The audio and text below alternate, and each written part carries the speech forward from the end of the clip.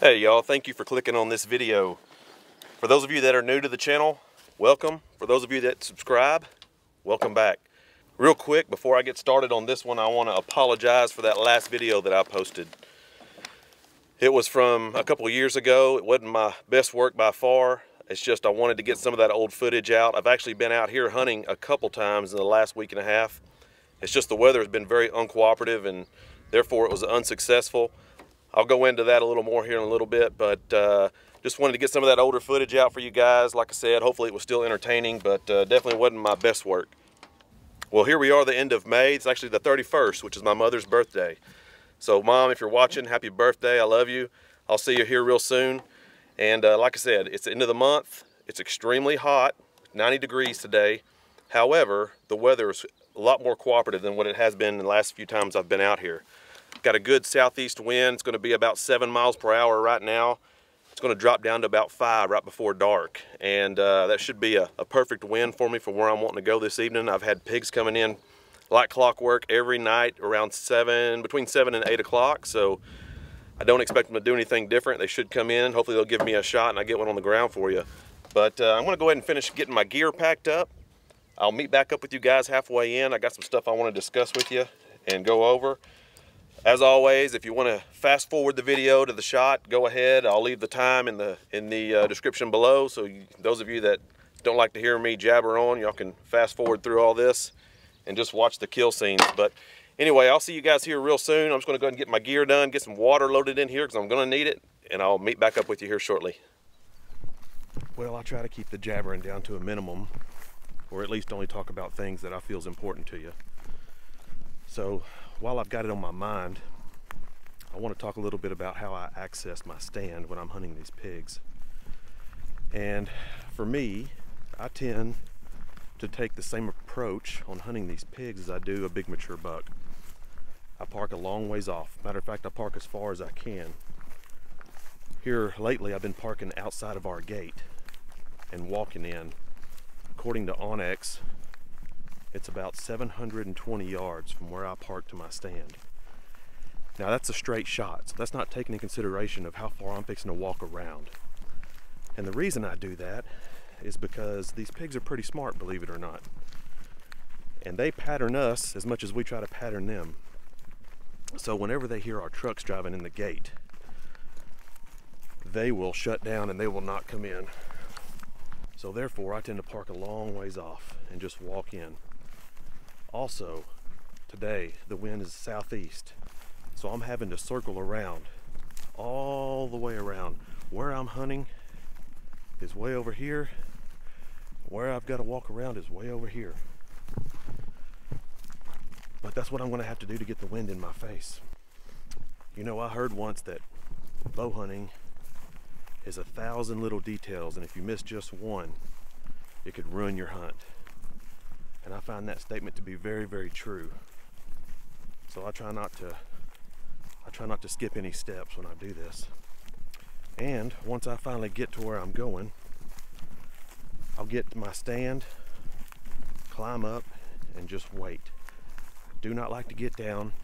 I do not like to mess with the feeder. And I do not like to put any scent around my stand or my, my uh, feeder that I don't have to. These pigs, if you get walking around your feeder, they will smell where you've been. You want to keep the less is more attitude when you're hunting them. So when you go in, if your feeder's been throwing consistently, let it do its thing. Throw the corn that normally comes out. Don't uh, don't try to put any extra bait out. Don't try to do anything that you don't normally do. Uh, what in my experience, by throwing out something that's a little bit different, it usually spooks them. So take the less is more approach. Get in there, get in your stand, get quiet. Don't lay a lot of scent around and just wait for the feeder and wait for the pigs just to come in. So hopefully that helps a little bit. I know it's kind of common sense to a lot of people, but for those of you that don't get a chance to get out and hunt these pigs much, like I said, they're one of the smartest animals I've ever hunted, and you really have to take an extra approach. Not to mention, these little things will help you tremendously come fall whenever you're hunting those big bucks. So it's a win-win and hopefully it'll make you a little more successful. Well, I've had to walk a pretty good ways all the way around, but I happen to have the wind in my face now. It's actually blowing right into me. My stand is going to be right inside that that clump of trees about 150 yards. So the wind is going to be blowing right in my face, which is exactly what you want going in.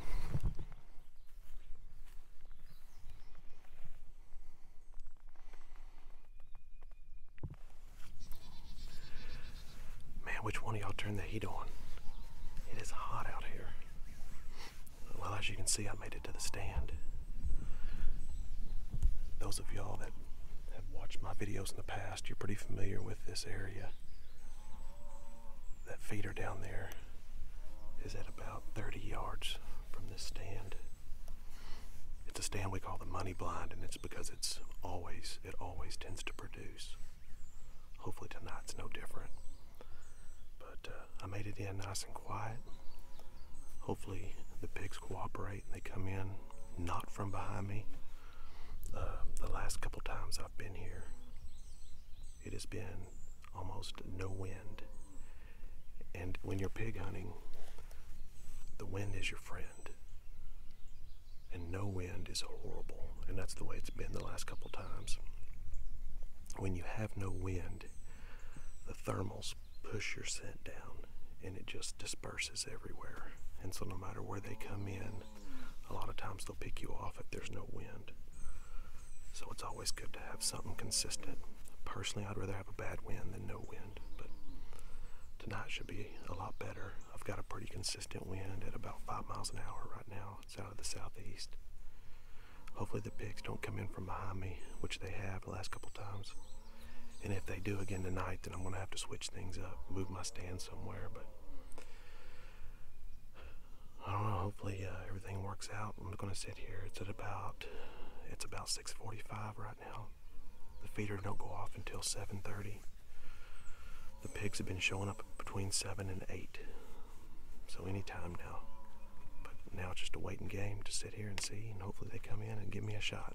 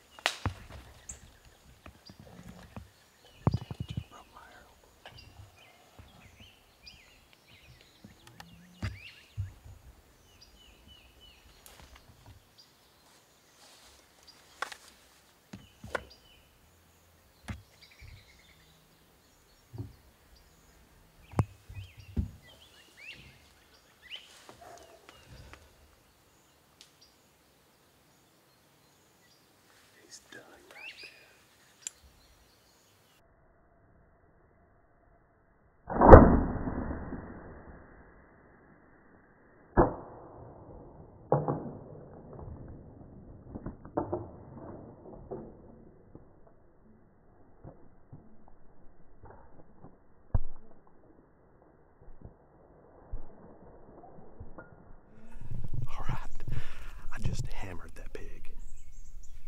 dead, not even 20 yards from the feeder. I hit him perfect, and he circled around, and he died not even 20 yards from the feeder right there. Man, that grave digger. You know, the penetration probably wasn't the best, but it went in far enough to get everything it needed to. And I'm pretty sure I heart punched him. And it's still early, so I'm to sit here and hopefully wait for who knows, maybe a few more to come out. But we got one on the ground. That was awesome.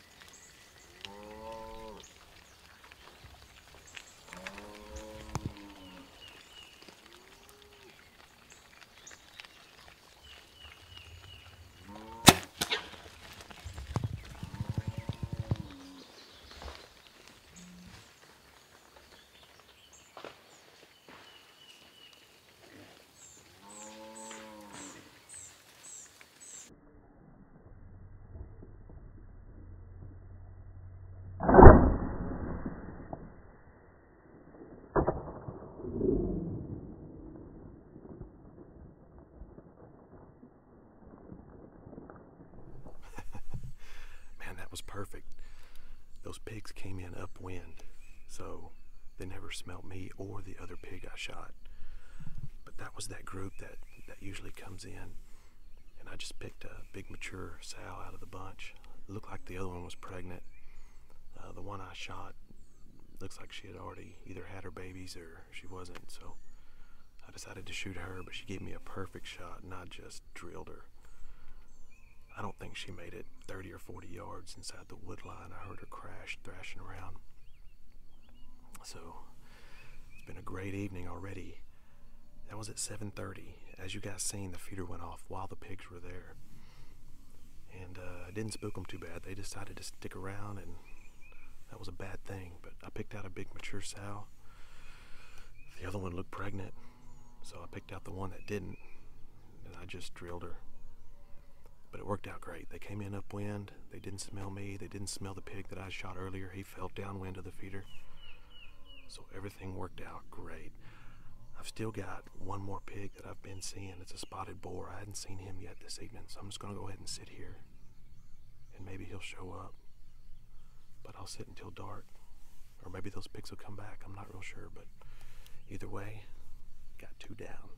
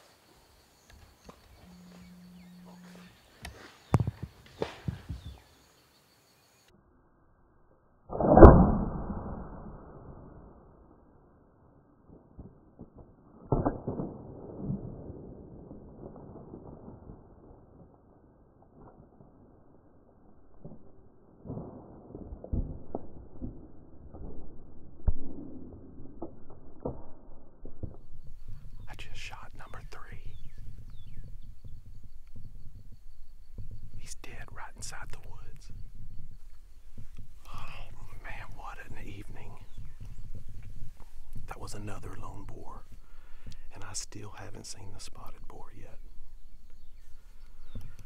Golly, I shot that pig with that Iron Will 200 grain, and it went through him and bounced up. I don't even know if I'll ever find that arrow, but I'm going to really look for it. Oh man, what an evening. it's been a long time since I've shot three pigs in one setting.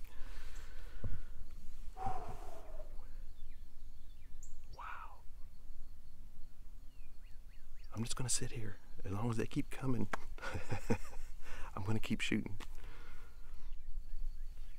I just had another one come in from behind me. You can hear him.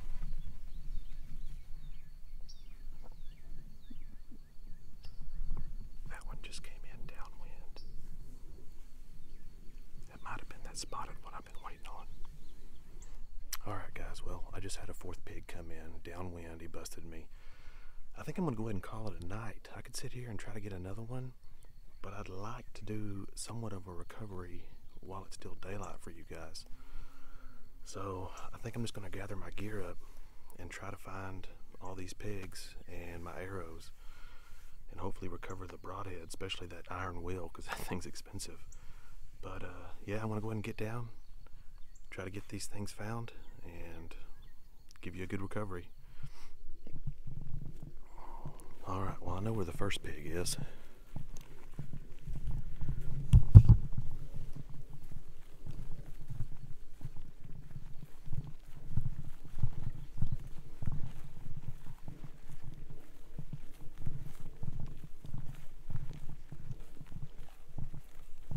He didn't make it very far at all. And I'm actually surprised that when that third pig came in, he didn't get spooked by this pig laying here.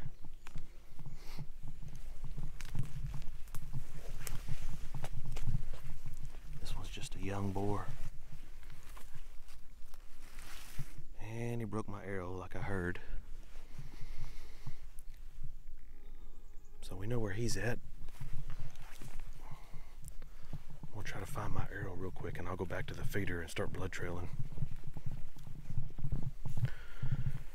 Well, no luck finding that arrow.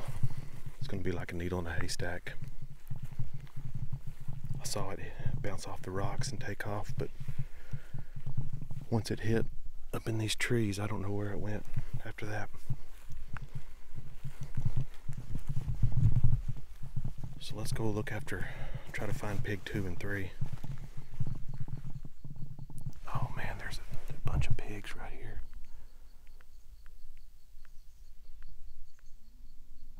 Damn, they were coming in if I'd have just waited a little bit longer. Man, I've had pigs on me all night long. This is one of the best hunting nights I've had in forever. Looks like this was pig number two.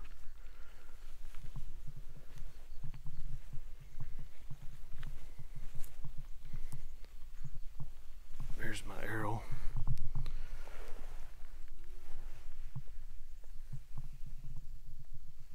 Everything's intact. That was from pig number two. This is actually pig number one, I believe.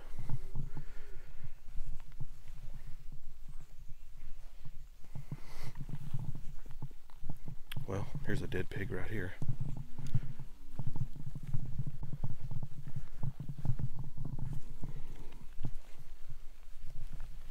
See, I got great blood. Golly. So that was pig number three.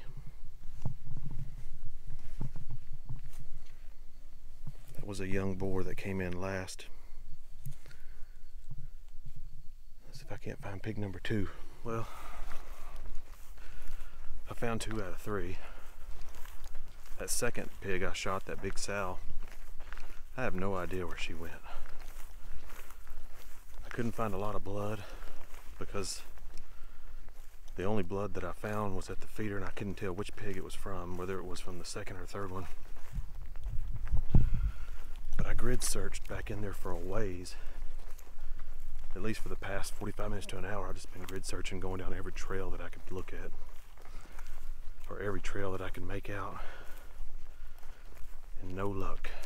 So, I'm gonna head back to the truck while I still got a little bit of daylight, enjoy this beautiful sunset, bring it back and get these other ones loaded up, and then I'll give it a, a quick once over and try to find her. But these pigs are tough, and even when you hit them exactly where you need to, they run a long ways. There's a another video that I put out not too long ago where I shot a pretty good boar and I'll leave it up here up top so you can check it out but I shot that pig pretty much double lung and he went a long ways so it happens it's part of it but I'm gonna get at least these two because I found them right off. They didn't go 20 yards from the feeder. And get them loaded and I'll uh, meet back up but I got my work cut out for me so I'll see you here shortly. Looks like I've got a coyote out there. If my camera will focus. Oh man able to enjoy another beautiful sunset.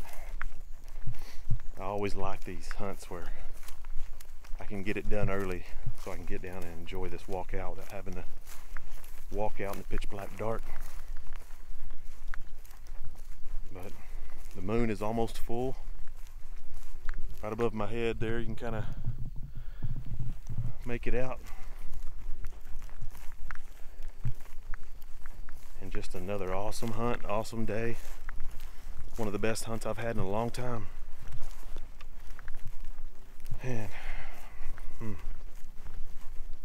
it's been a great day.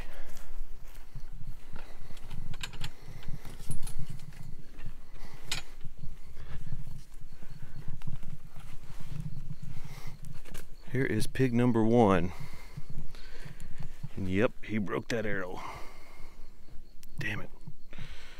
That arrow had two kills on it already. I'm not gonna get a third. Let's look and see. Ooh, yeah, we got lung hanging out. So that broadhead did a number.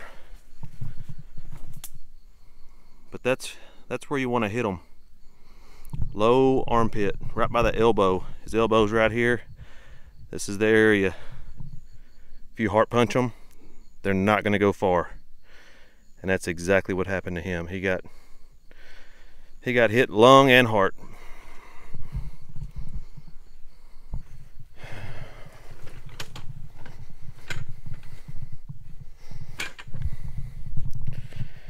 This pig was hit with the Iron Will. Double lung. That's entrance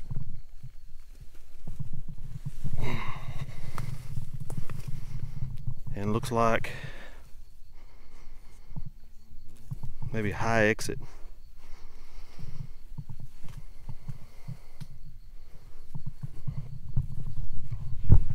Yep exits right here. So a little higher than that other pig. Personally I prefer to hit them lower here. But that one did the job Well, I probably don't need to tell you just how good this evening was. I was able to find two out of three. I couldn't find that second pig. I shot that big sow.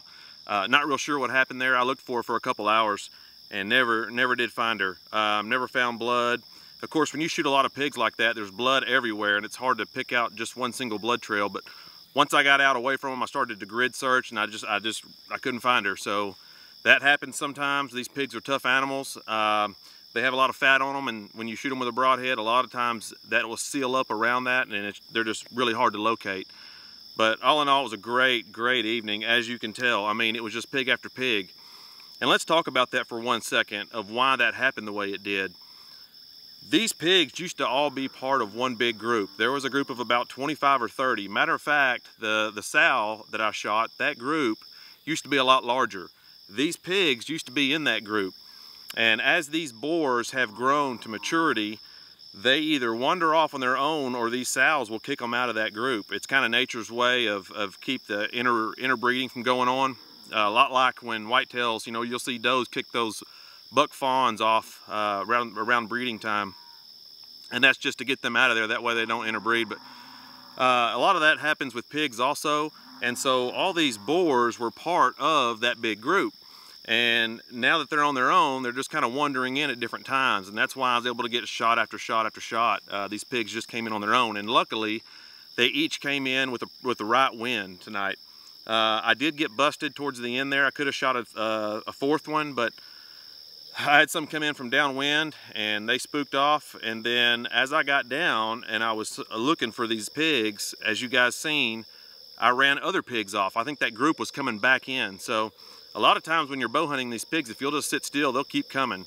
And if you're shooting a quiet bow like I do, uh, you can just pick them off one after another and it just makes for a really fun, good evening. But as you guys seen, uh, it was a great, great hunt. I hadn't had a hunt like this since a couple years ago when I did a video.